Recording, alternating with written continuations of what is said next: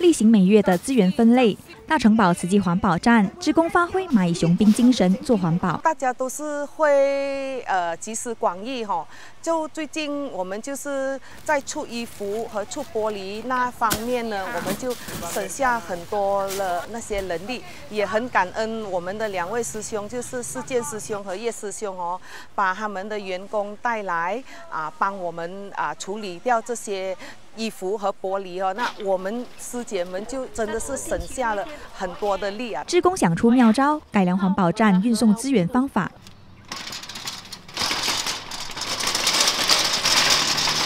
老菩萨们就非常的吃力，每次要弯着腰来收拾那个纸烟，那尤其是那个纸烟都是蛮重的，有书本啊，有这些，那就是说心里他非常疼惜老菩萨的们的这样子啊，哦，啊，那就想到一个办法，那我们能够尽量改改善，我们就改善，让就是想到能够做像好像这个。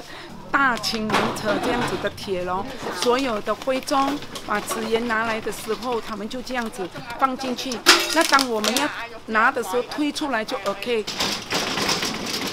我之前在搬衣服的时候，每个星期二要出衣服的时候都很怕，就很有压力。就是如果师兄没有来，没有这个大金刚来，会怎么办？然后就师姐就搬到很吃力，然后现在的话，我们就是从衣服呢，就从楼上就只可以滚接下来，就省了很多人力的那个接力的那个动作。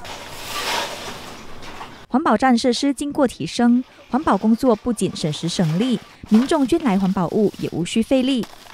大新闻，这是美之工张志亮，马来西亚吉隆坡报道。